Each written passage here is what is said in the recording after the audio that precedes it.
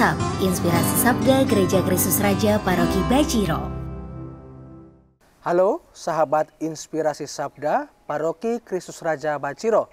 Berjumpa dengan saya Frater Alexander Beri Serikat Yesus dari Kolese Santo Ignatius Yogyakarta.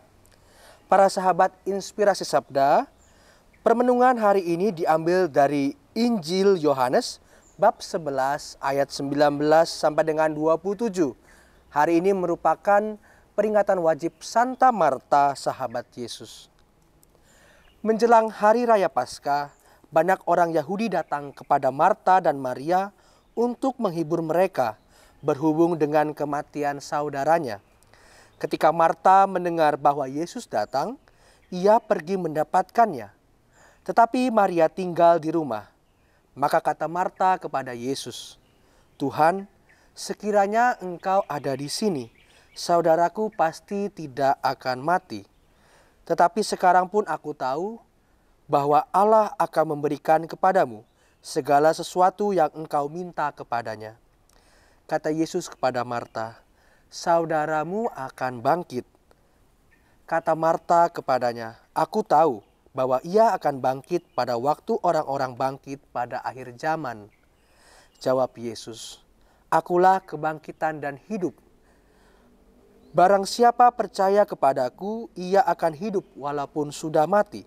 Dan setiap orang yang hidup serta percaya kepadaku tidak akan mati selama-lamanya. Percayakah engkau akan hal ini? Jawab Marta, Ya Tuhan, aku percaya bahwa engkaulah Mesias anak Allah, dia yang akan datang ke dalam dunia.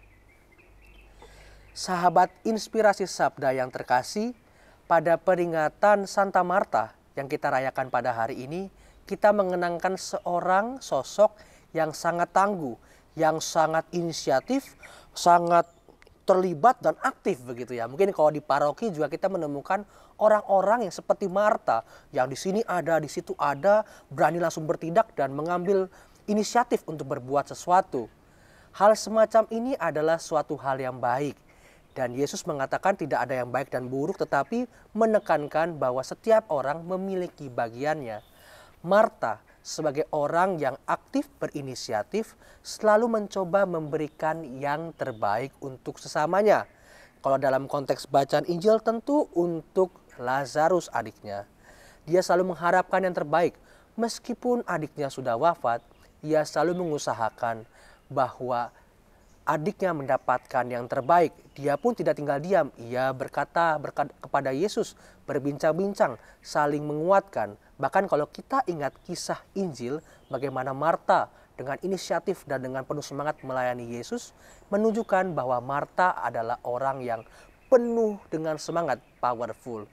Teman-teman inspirasi sabda yang terkasih, dalam hidup kita, dalam hidup menggereja, dalam hidup harian kita di masyarakat, apakah kita sudah menjadi pribadi yang aktif, berinisiatif, mau berbuat sesuatu untuk orang lain dalam pelayanan.